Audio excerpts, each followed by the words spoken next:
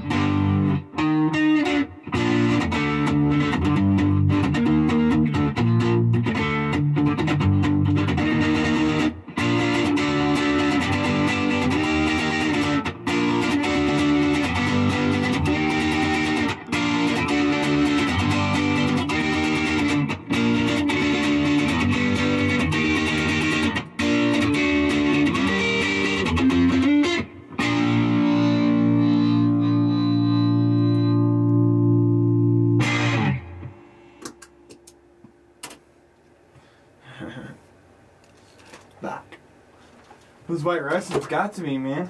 I don't know if it's the white Russians or it's the weed.